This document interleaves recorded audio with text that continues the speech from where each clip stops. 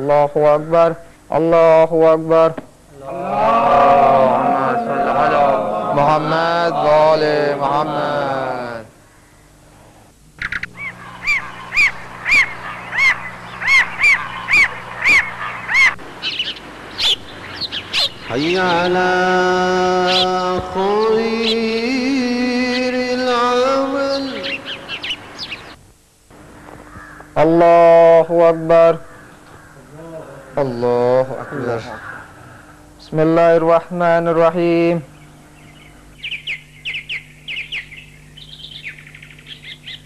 तो साहब आपके वालिद कैसे हैं? अल्हम्दुलिल्लाह। और हमारे वालिद ने आपको आज दावत पे घर पे बुलाया है। अगर आप आ सके तो नहीं नहीं यूसुफ साहब ज़रूर ज़रूर। इतनी तकल्लुफ की क्या बात थी? घर पे बुलवा दिया तो हम आ जाते। नहीं मौलाना साहब।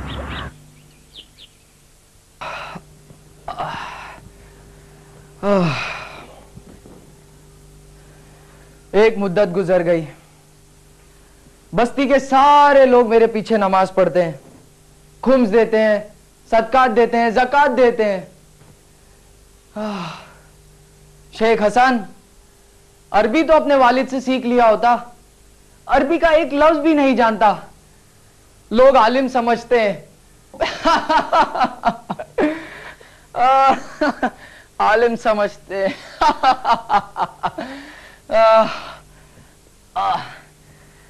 अब्बा जान, मैंने आपको ज़िंदगी भर कुछ नहीं दिया, लेकिन आपने ज़िंदगी में पाला और मरने के बाद सब कुछ मुहैया फरमा दिया बाप हो तो ऐसा, जाहिल बेटे के लिए इतनी बड़ी नेमत वर्षे में छोड़ गए।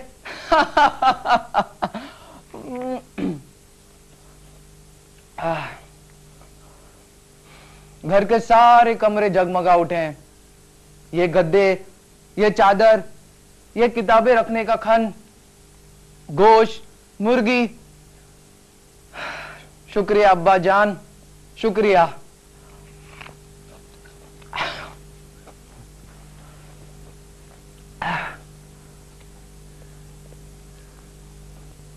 माशा अल्लाह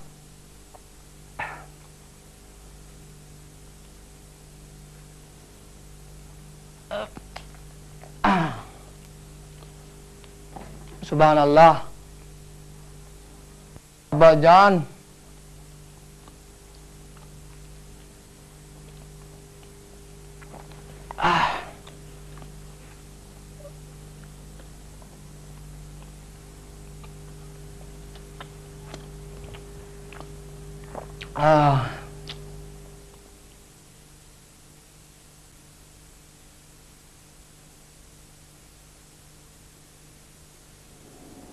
शेख हसन अल्लाह से डरो उसके कहर से डरो।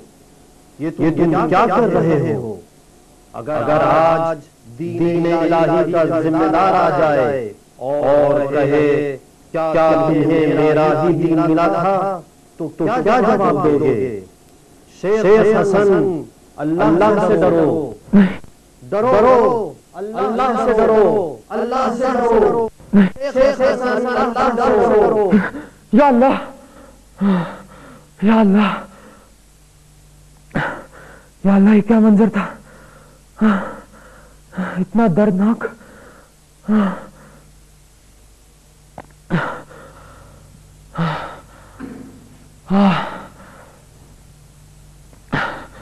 या अल्लाह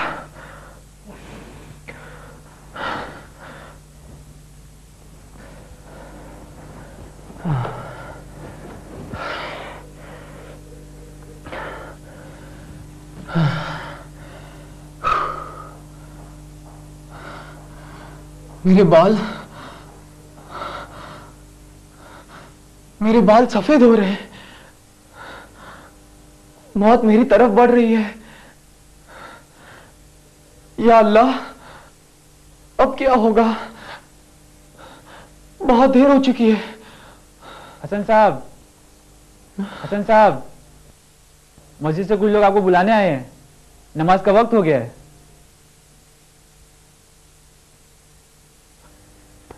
मैं आज नमाज़ नहीं पढ़ाऊँगा।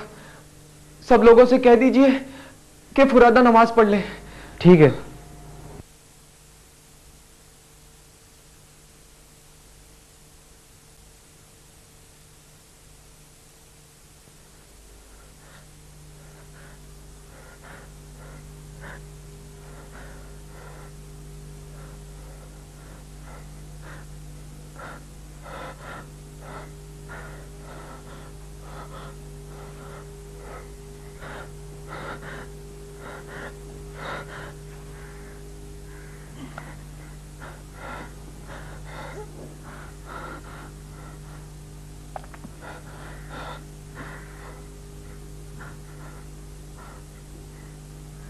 इसी तरह मेरी उम्र का सूरज डूब जाएगा, फिर कब्र का हमेशा रहने वाला अंधेरा होगा दहशत होगी।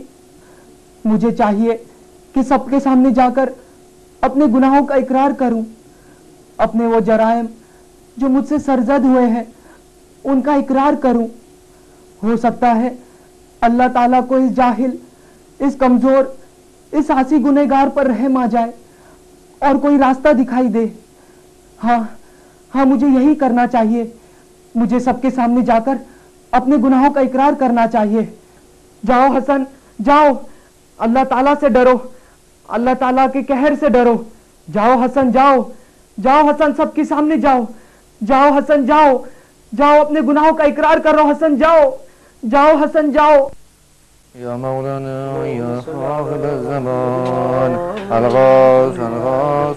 सलाम अलैकुम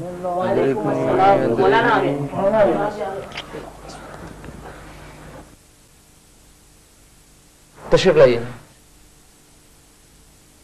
ए मेरे बुजुर्ग मर्तबा नमाज गुजारो मेरे जवान साथियों और वो मेरे तमाम अहबाब जिन्होंने मेरे पीछे नमाज पढ़ी खुम्स और जक़ात की अमानतें दी सदकात और दूसरों में तकसीम करने के लिए रकम देते हैं।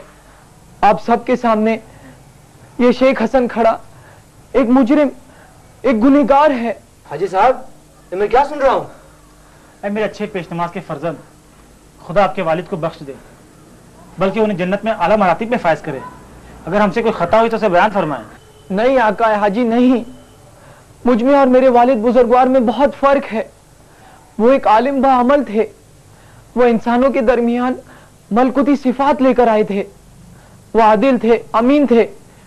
वो इमाम जमान अलैहिस्सलाम से इस तरह तवसुल करते थे, जैसे कोई फकीर बेसरो सामा किसी बादशाह के वज़ीर से भीख मांग रहा हो। मैंने तुम्हारी दी हुई अमानतों में खयानत की है। तुम्हारी दी हुई जक़ात मैं खा गया और सदकात में मैंने सब ऐश ऐशकोशी में उड़ा दी। मैं आप लोगों से इल्तिजा करता हूँ, मिन्नत करता हूँ गिड़गिड़ाता हूँ कि आप सब लोगों की नमाजें बातिल हुई हैं। उन्हें फिर से पढ़िए और अल्लाह ताला से दुआ करिए कि वो मेरे गुनाहों को बख्श दे। क्या तुम सच कह रहे हो? हाँ। इसका मतलब तुम्हें अब तक धोखा देते रहे? हाँ हमारा खून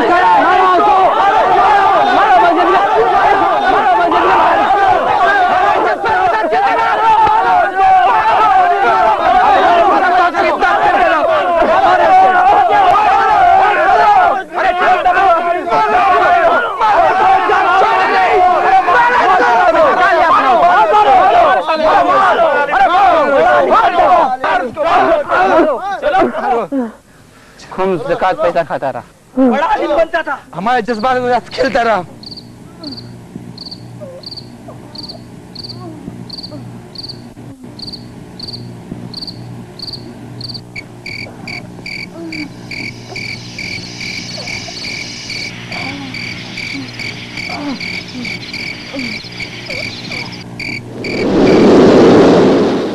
तो मैं तुमसे क्या कह रहा था? सलाम कि तुम- वालेकुम अस्सलाम। खादिम को शेख हसन कहते हैं। कहिए क्या बात है? मैं आपसे इल्म हासिल करना चाहता हूँ। बहुत खूब। मगर मगर ये जख्म जरा ठहरो। असलम जी। इन्हें कमरे में ले जाओ। जी अच्छा। और इनके जख्म पर मलम लगा दो। और हाँ पहनने के लिए कपड़े भी दे दो। जी अच्छा। बेटा अब तुम जाओ। आइए।